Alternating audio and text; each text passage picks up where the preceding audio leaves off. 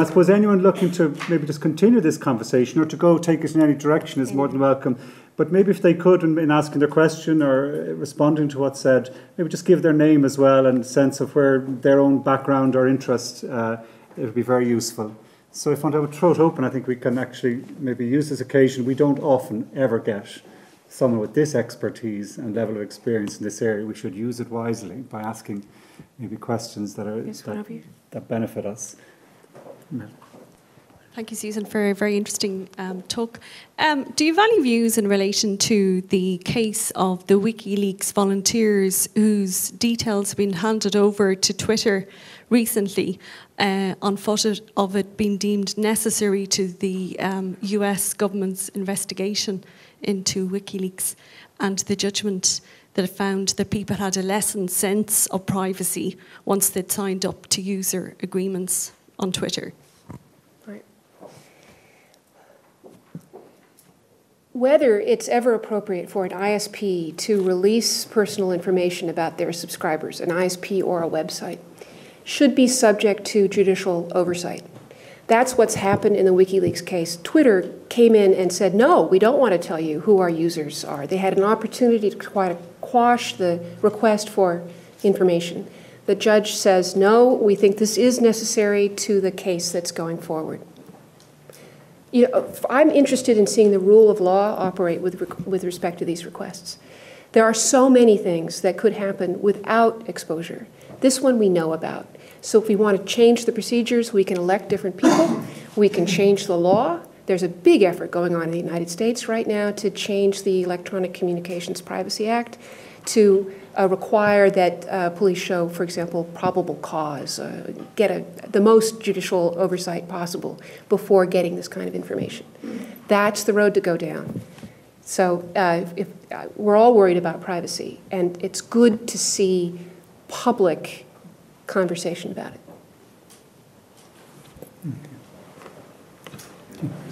Jim Devine, do you want to wait for a microphone so just we catch, just to, so, that, so that your question is caught online as well, please? Great.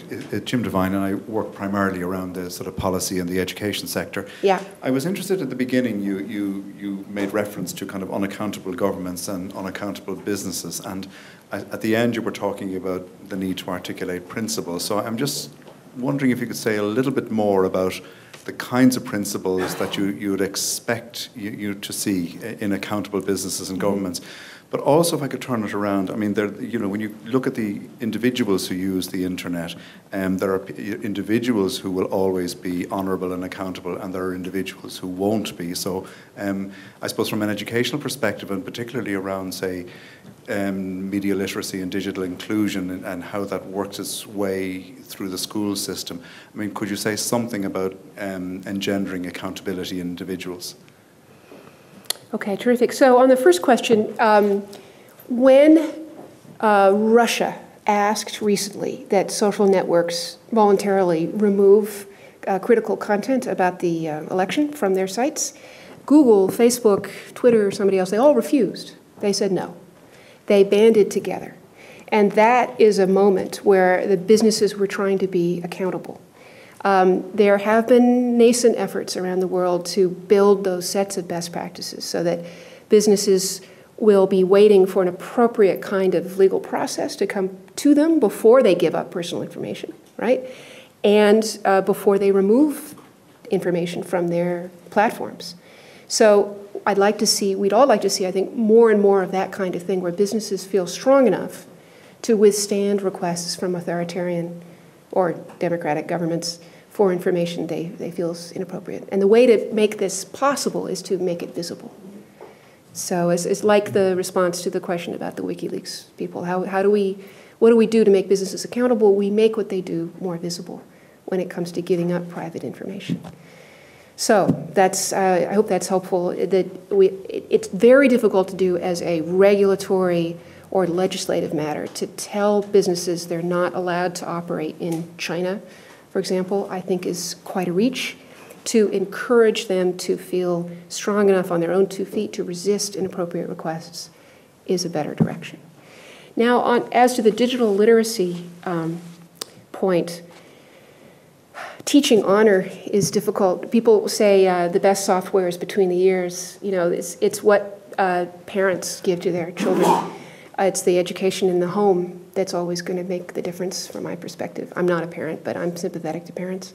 And um, it's very difficult to try to, uh, you could certainly have um, curricula in schools that will encourage ethical, thoughtful behavior by kids online and encourage them to think about their own privacy, but to mandate a curriculum, sort of a one size fits all thing, is probably doomed.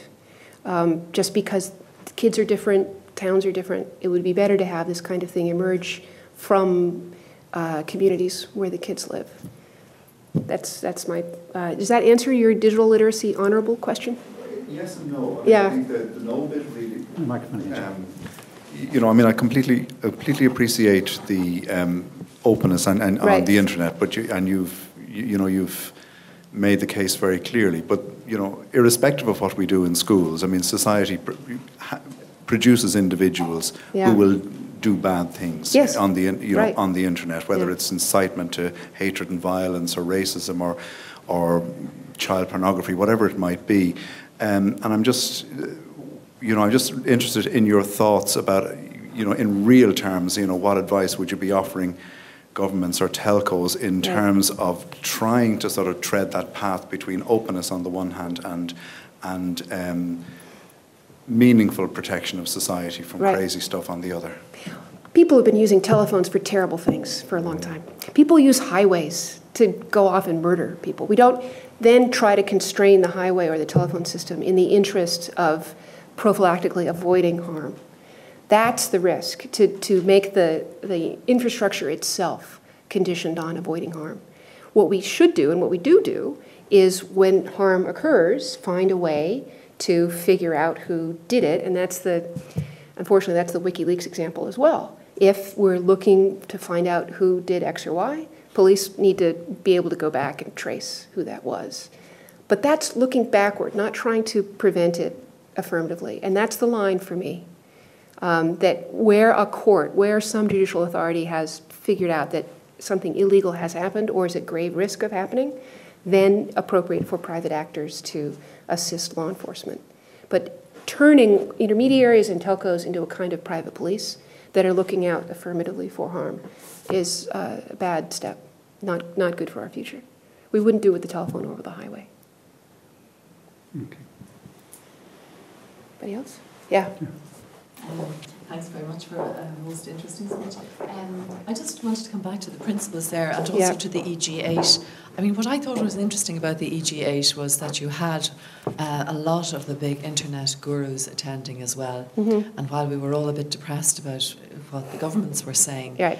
um, it was a forum that allowed people like Vint Cerf to um, elucidate the arguments in favour of openness and Mm-hmm. perhaps also to pitch one principle against another, say privacy versus innovation or security versus privacy.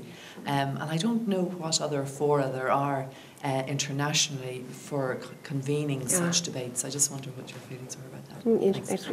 Well, actually, um, so on the EG8 point, absolutely right. I think got a chance to talk. There were a lot of civil society people there who felt, you know, I didn't get a chance to say anything, and others who felt they hadn't been invited. So, for what it's worth, there was a sense that, yes, Sarkozy had dragged all these enormous internet companies to Paris just to show that he, you know, he could, uh, and that they got some great photos, and that all seemed fine. But as a forum for actual discussion, that really didn't happen. It was more speech making and uh, not, not so much policy making. The OECD is emerging as a place uh, where there will be real discussion among the. Now we need to figure out how to bring more countries into that discussion. But among the developed nations of the world, uh, they, just a month after this EG8 meeting, released a set of principles uh, that had been done with the cooperation of civil society and academia and business and government um, that would protect intermediaries from liability, for example, because they saw that as an important role uh, for speech in the internet uh, to make sure platforms could make that speech possible. So I have high hopes for the OECD as a as sort of a, a new play, new kind of forum that has uh, great dignity, but is also more open to many different actors and, and is not just there for a precedent. Just on that, if I can, because it's Yeah. interesting, uh, and to a certain extent, you see that rather than the ITU Yeah. being a location where you would actually formalise some of the operating principles, as it were, not just the high level principles. How do you do that when you don't have China or India or Russia in, in the OECD? I mean, how do you, how can you get a, uh, the really large pop, you know, areas of population included Mm-hmm. and developing with the areas where the internet's going to develop most in the next five, ten years? Right. How, how do you get them in the OECD? Well, when I'm speaking of principles, for me, they are still right now high level, not fine grained principles, but principles about, for example, intermediary liability and uh, against filtering, that kind of thing, not dictating to the operators how they run their businesses. I think that will still be left to the national governments. Um, you would hope that as large economies, India and Russia would see the benefit of being part of the, that internet rather than cutting themselves off from it. That's always the hope. So that even if they're not formal members of the OECD, they feel the need to be connected to the internet. It's not a great answer because they're not there, but it's the best I can do. It's interesting because it's, it's the same in the energy area. They're not there, Right. and they should be there. They should be there. It was They should be there. Discussing that recently. There's a microphone there. Uh, Ronan Tynan, I just want to ask this question really from a human rights perspective. Um, first of all, I want to congratulate you on packing so much into a short presentation. Um, right, this question really relates to uh, businesses and what they do when they're confronted by autocratic regimes in particular. But I think you did a great job in highlighting the potential hypocrisy of the West or developed countries and lecturing China and so forth. Because Chinese are highly sensitive to hypocrisy in that context, and one can Right. em- empathise with them to some extent under Absolutely. that rubric, if you like. Yeah. Uh, so the question is really how or what type of instrument can and will do you foresee being developed that would allow companies some defense when they're asked to hand over critical information, life threatening information? I remember, for example, the hearings in the US Congress. Uh, which I watched, where Google, Yahoo, and Microsoft were hauled in, and I have a vivid memory of a, a, a quite a right-wing Republican congressman who was chairman of that subcommittee, waving a book in the faces to the highly embarrassed executives of that company about IBM's collaboration with the Nazis, you know, going way back, in, or the, you know, the collaboration by major multinationals with the Nazis, which was a, a fascinating uh, uh, thing to observe, you know, and the company's defense kept coming back to the point we have to observe the laws of the jurisdictions in which we operate. Right. Which, of course, when you consider the evolution of human rights law, that's a pretty pathetic response, Yes, you know. right. Uh, but there was one suggestion by the Counsel for Google, which I looked into a little, uh, the, the notion of making uh, censorship a form of restraint of trade, you know, a violation of free trade, which Yeah. is rather, it, it, there would be a beautiful solution if one could bring human rights right into the transactional domain of commerce, if it could Yeah. be done. So I would really be fascinated by what uh, thinking you could offer us, or maybe hope in, in that area. Thanks very much. Oh, that's a wonderful question. Thank you for that. And there is, um, there's a lot of talk about put, putting this over into the trade regime. It's right now it's still talk. Maybe a page of bullet points now exists on this idea, but it, it makes a lot of sense because you are ra- raising barriers to the ability of a company to do business by holding up the threat, the cloud of censorship, and that uh, you know a, a company will always its customers will always be worried that they'll be turned over to the police. That's a barrier to trade. So those companies, Microsoft, Yahoo, and Google, formed a group they call the Global Network Initiative. Now the problem with the Global Network Initiative is that it's not global. It's only these three American companies, and they weren't able to persuade telcos so far to join. But the idea was a good one, that they would adopt a set of principles that against which they would be audited by human rights groups um, after uh, you know experience in responding to foreign regimes. That experiment is still marching forward. If that could be expanded, made maybe a little less heavyweight, so more um, companies join it, that would be a, a good way to again give them sort of the strength to stand on their own two feet and say, we won't do it. Notice in Russia, they act as a body. We're all not going to do it. And you need that kind of group boycott. If you're picked off as a single company, very difficult. Can you just have to leave that market. So both of these ideas, both the quasi self-regulatory notion of having principles that you sign up to and the human rights advocates take a look at, and then the trade barrier idea, which would take years to implement, are, are both powerful and interesting suggestions. Thank you for that. But yes, I was looking to ask. Microphone, you- David. There's a you- You touched on, um, you touched on uh, the content industries yeah. uh, in terms of their attempts and the Stop Online Piracy Act. Um, and I'm, well, I think we could sense that you're not a particular fan of the act. No. You seem to be at least aware that the problem exists in their industries, uh, like a threat from the online um, method of piracy, and online piracy in general is definitely a problem uh, on some level. And I'm wondering if you could perhaps outline what your ideal relationship would be between the content industry and the technology industry uh, and the telco industry in terms of trying to, you know, trying to maintain as much as possible uh, the content industry's ability to continue to produce high quality content while at the same time not at all restricting the other aspects that come into play. Well, um, I think I've tried to express the idea that we shouldn't design the internet to favor any one industry. And at this point, Hollywood is powerful enough that they would like to see things designed to favor them. Who else are we going to pick the next time? You know, does aerospace want their own special internet? So um, that can't be the right direction. On the other hand, the uh, intermediary liability uh, lack of you know safe harbor scheme we have in place in the United States is evidently unstable.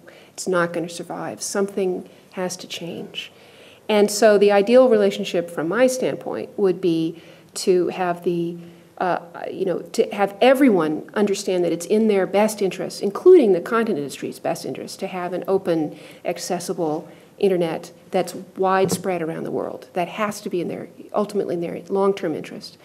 That it would be appropriate, as I tried to indicate during the talk, to stop American payment mechanisms from assisting uh, true pirates. How you figure out who a true pirate is hard, but to use the ends of the networks, the payments, as places to, uh, you know, intervene, rather than to dig right into the hardware of the internet and say we're going to monkey around with IP addresses and domain names, because that I don't think they quite appreciate how dangerous that is to the operation of the internet as a whole. And it's sort of this benevolent, like, well, of course we should be blocking pirated sites. Well, yes, but what's a pirated site? You know, what kinds of uh, responses are the DNS resolvers going to give? What does this do to our ability to hinder man-in-the-middle attacks? Right now, there's this whole idea, it's called DNSSEC, uh, which would allow a user or a website to know that the request that it's getting is coming from the source that says they're speaking. So a way of uh, authenticating a request saying, yes, that, that name is real, called DNSSEC.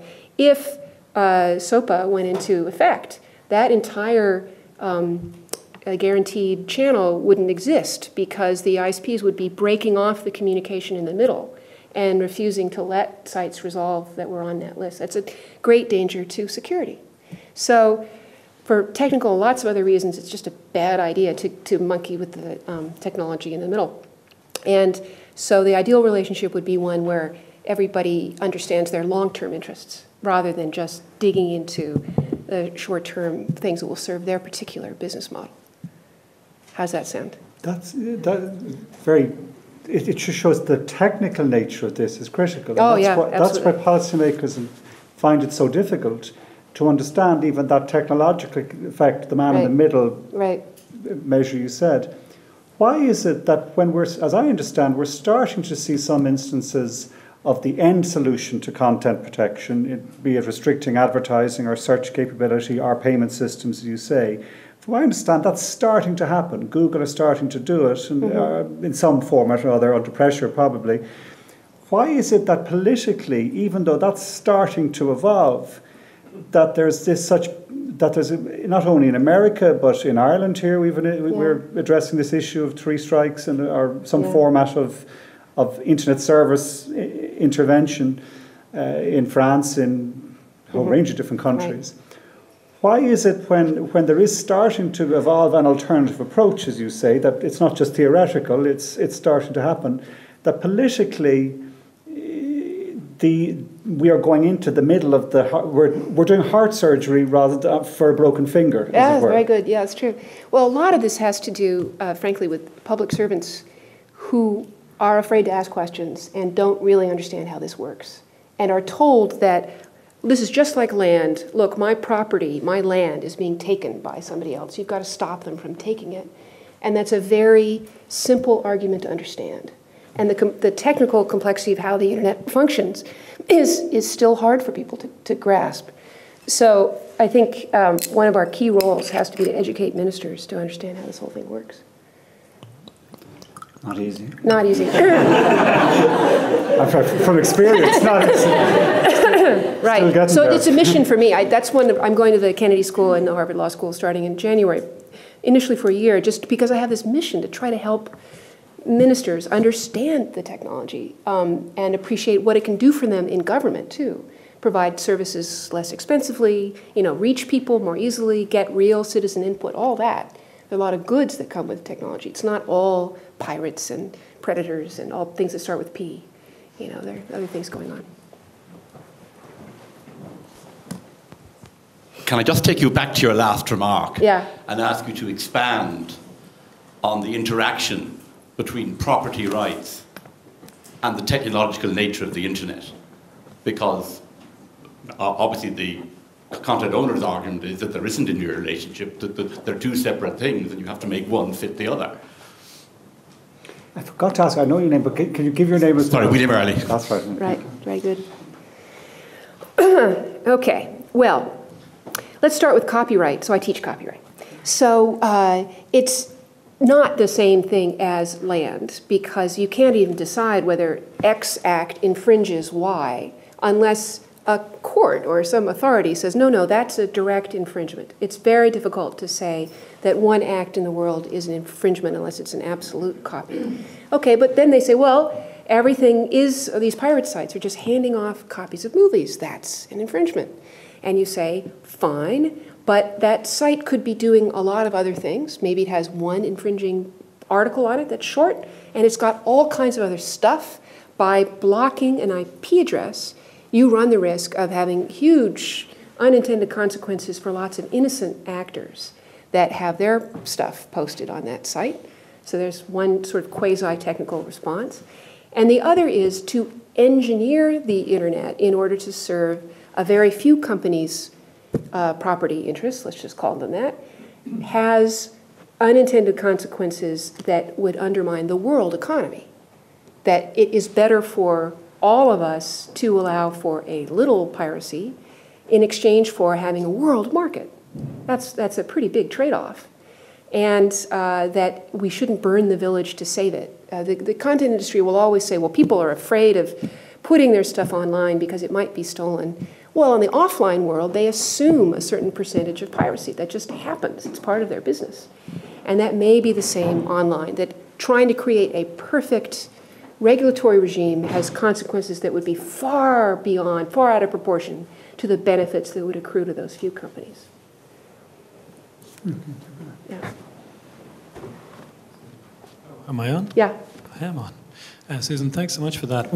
We had uh, Evgeny Morozov in here maybe a month ago, Yeah. and he was saying almost exactly the opposite of most of the things you said. Yeah. And while I would have disagreed with him before he entered the room, he was very compelling. I agreed with him once he left, and now Yeah. I agree with you. So, There you go. so uh, 10 out of 10 to you both, but it leaves me wondering who's right and who's wrong and whether there's a grey area. And a totally unrelated question to that statement is um, why is it that lawyers have, in a sense, owned a lot of these, these debates? We could be debating a whole lot of stuff about what the internet is doing, and yet it seems that the, the law departments, you know, uh, especially in the States, have very, very quickly dominated the discussion of where the technology is going. I don't say that as a complaint, but when you look at the, the rounds of research happening, the next round of research then is social scientists are getting in on the act. Yeah. And there hasn't been a, a third wave. So it's a broad question. Why law right from the beginning after the engineers got in there? Why were the lawyers next? Well, you saw this in the formation of ICANN, actually. The engineers came up with TCP/IP, came up with IP addresses, and they're completely impatient with policy. Completely. Which is good. I mean, they're, they're making things happen, they're making it work. So the lawyers, they just sit in their seats and work on the policy, and though they end up showing up to, to the meetings and end up having a bigger say. It's still true. So an engineer will say, ah, forget it, I can, I can route around you guys. I don't need to deal with Washington um, in my country. That, that turns out not to be true. And we do need much more of a technical approach to these issues. But the language of policy and the language of engineering do not work together. The engineers say there's a right and a wrong answer. Policymakers say, well, there may be a compromise you know, and this stakeholder got me a few votes last week, and so, so that these two worlds really don't intersect very neatly. What we need are policymakers who are willing to show up to the meetings, who have an engineering background and are able to bring a, just a sprinkling of reality into the talks that go on in the political realm. We don't have that right now.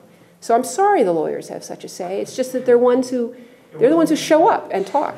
What? It wasn't a complaint. No, no, it, it's, it's a, it has been, a, it's been a problem from the beginning, no question. So, uh, and the social scientists will come, and then I hope that the engineers will too. But MIT does not have a policy school. Um, uh, the institute uh, in Delhi, that, which is far more sophisticated than MIT in many ways, doesn't have a policy school. They, these two academic realms are also quite separate. And it is not a ticket to being the top minister of communications in America to be an engineer. You're always somebody else, you're a lawyer or someone's staffer. So until all of that cultural DNA changes, so some people die off, this is the way it's going to work. So, yeah. Thank you. I'm just going back to your, your comments about the international you know, fora where these discussions happen. Yeah. And um, going back to, um, as a policy person who doesn't quite get all this, but I'm learning quickly, the so much is, is um, expected of technology and communication for development. The entire green economy discussion is based on technology for development. If you're sitting in the UN and talking about anything, whether it's water or it's energy, there's a technology component. Whether it's banking and transactions and cross-border movement of money, there's a technology component, and that is all about development and sustainable development and lowering costs and leapfrogging. Uh, what is, what is your perspective on this? Because they're, they're closely linked, yet they're occurring in uh, rooms very separate from one another, and everything you're discussing today never comes across the, the guidance and the talking points of those who are talking about the green economy. You put in as appropriate, you put in certain types of qualifying language that makes agreements uh, somewhat neutral or somewhat acceptable to the countries around the table. Um, but it's, it's, um, there's a real disconnect. Mm-hmm.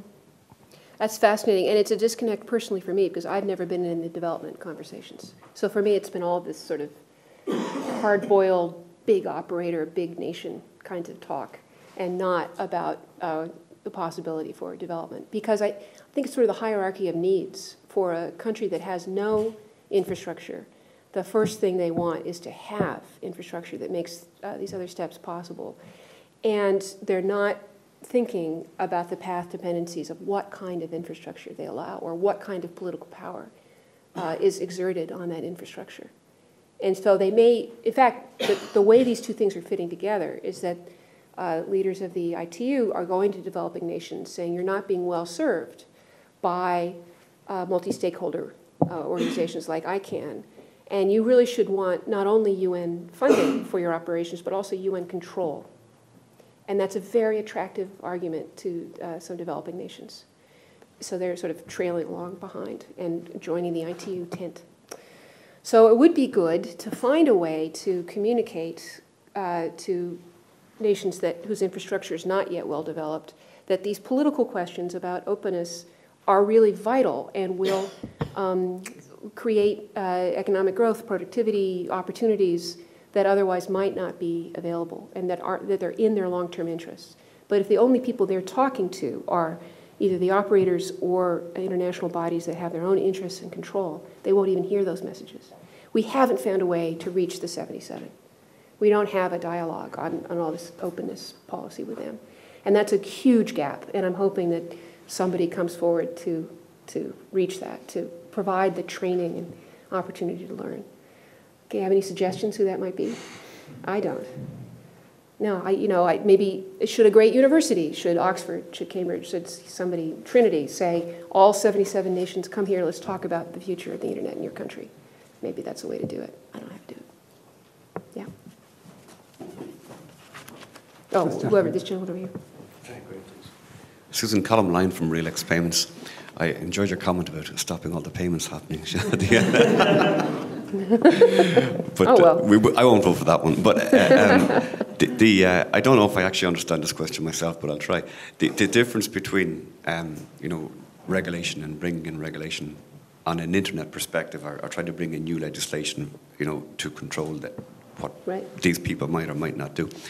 But yet there is a already like loads of legislation out there to do lots of things. So I take the gaming sector, for example, and the online gaming in the US, where the US authorities, like you don't need any more legislation, and Yeah. they're actually very active already, like in stopping online gaming when it when it operates, no matter where it is in the world, and they- they'll they'll, they'll go, go anywhere to stop it, because that legislation is already there, and in many respects, there's lots of legislation already there, maybe, but people don't see, tend to enforce it if it's online.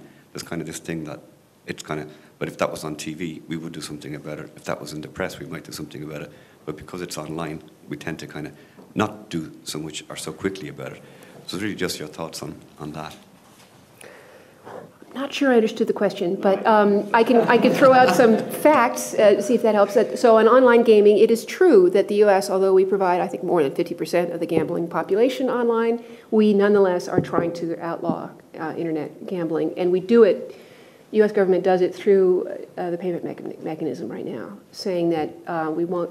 Uh, government won't allow payment um, companies to complete payments to online gambling, gambling sites. But it's only done domestically. Not, we're not telling people gambling outside the United States that they can't use payment mechanisms. telling companies who are outside.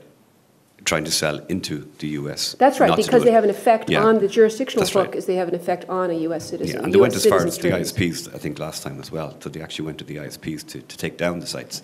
Right, So, yeah. that's not such a great approach, in my view. Um, So there, there, there are levers that governments look to to try to protect their citizens. And for me, the effects on speech are less by going after payment mechanisms than the effects of going after the IP address as a whole.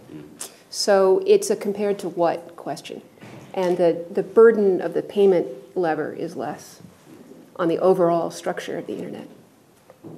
I know that's not, not a great answer from your perspective, but it's a, yeah, comparative.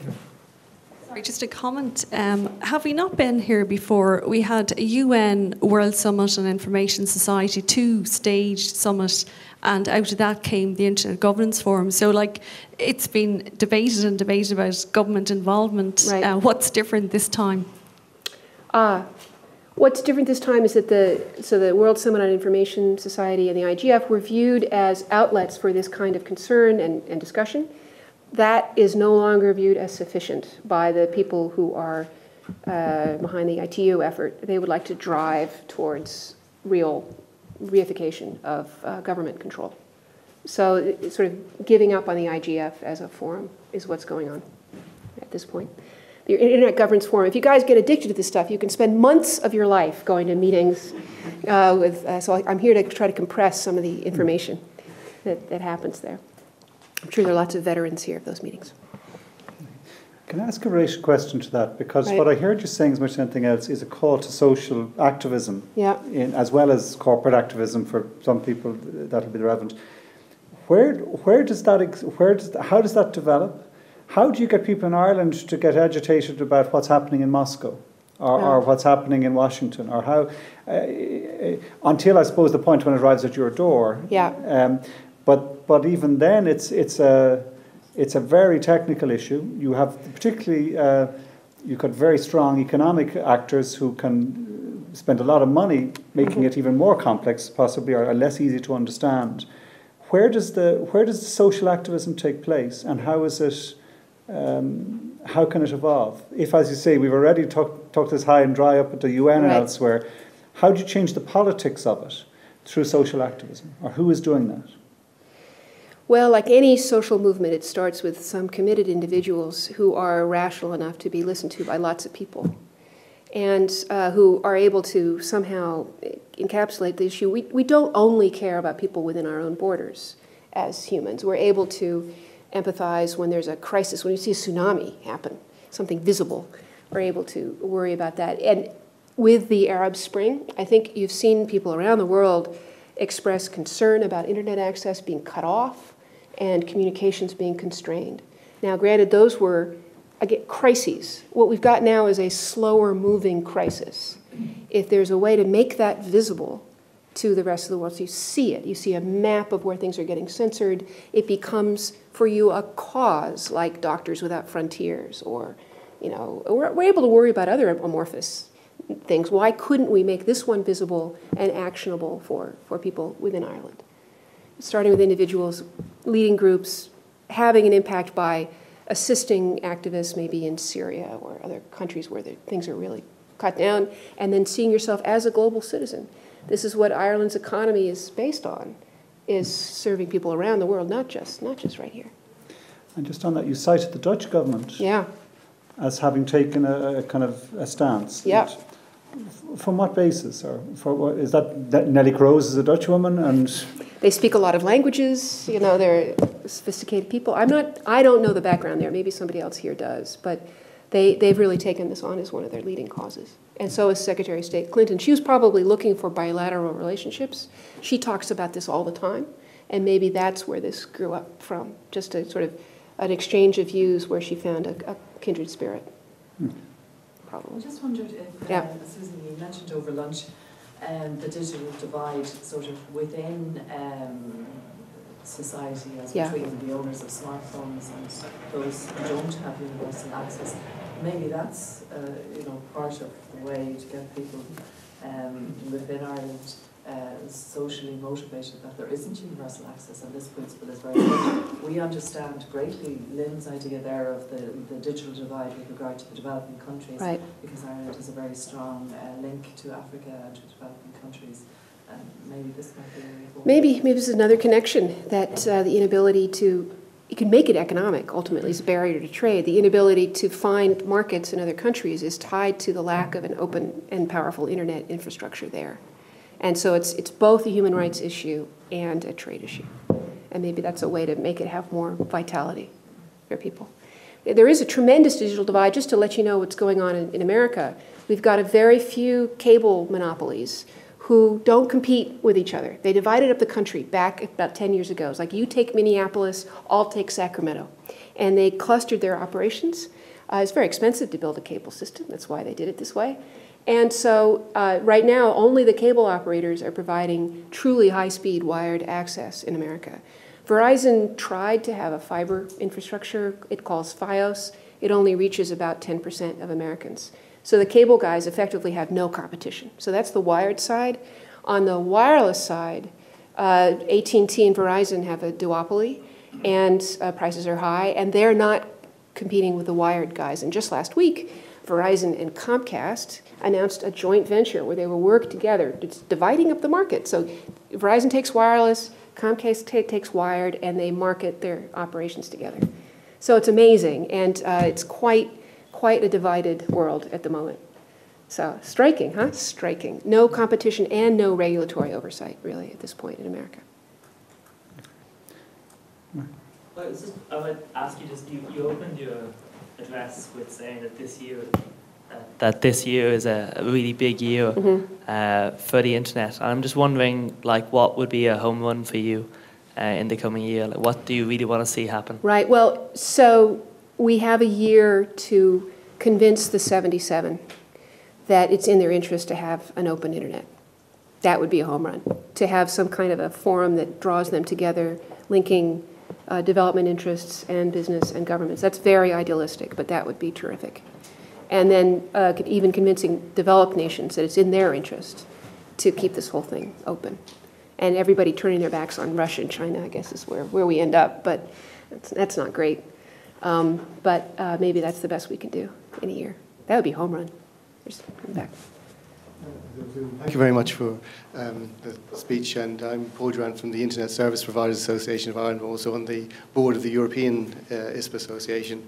And um, one of the concerns which you raise, which is really dear to our hearts, is this whole area of blocking and that I'd like to comment that you know it's so simple for politicians to say block it, but of course the technology, the technological implications are just so such a nightmare. And the, you know the internet is actually so fragile. The greatest miracle of it all is that it actually works. Yeah. And yet most of these things are asking us to tamper with these. Um, but way of a question, uh, the new kind of catchphrase that I hear at European level all the time is non-legislative measures. And this is what's coming out from Europe Yeah. and as a, addressing many of the issues. Uh, This has great kind of a, seems to have a catchphrase value with politicians. What do you think to propose your kind of view we need as a kind of catchphrase? What is going to find traction with the European politicians so we don't go down the, uh, what we see as the rabbit hole of blocking and so on?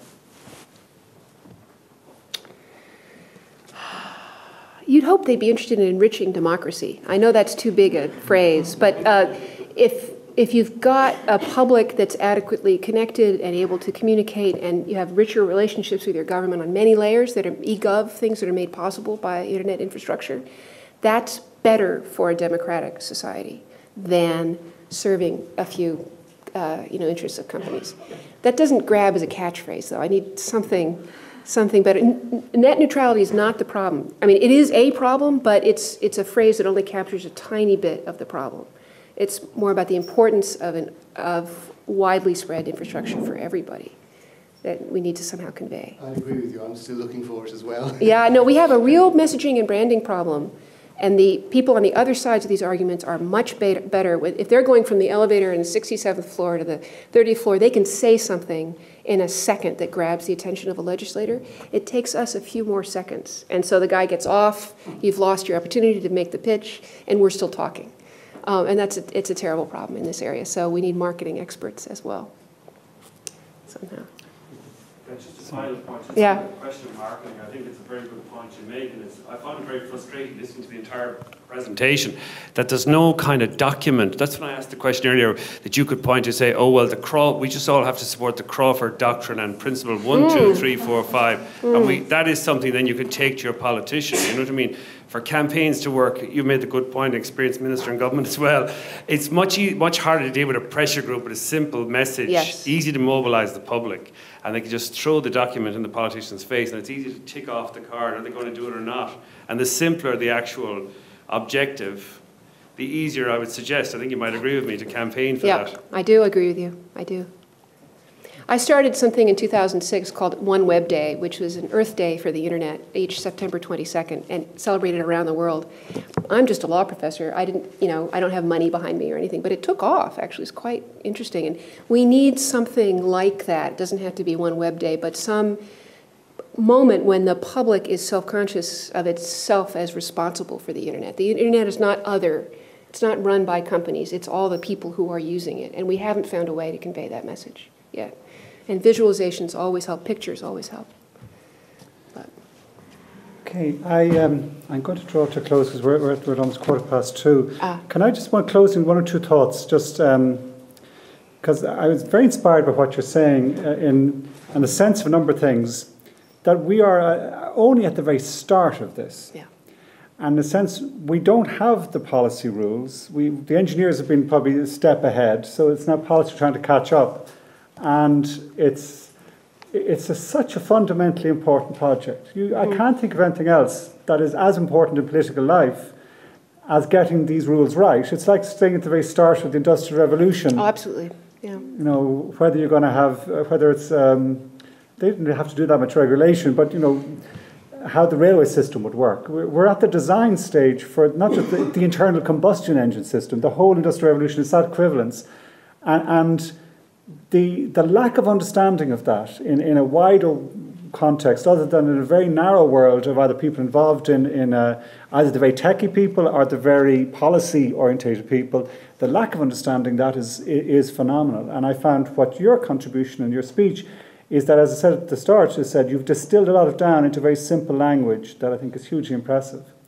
One thought, just you're asking that question, you asked the question, where is the fora to influence the G70? One of the things that you know, we're always looking at what we can do and maybe slightly blow, ourselves up above uh, uh, scale. Um, But one of the areas that Irish policy has certain influence is actually in the developed world for a whole range of historical reasons where we have had a good, have had a good uh, record in terms of development aid.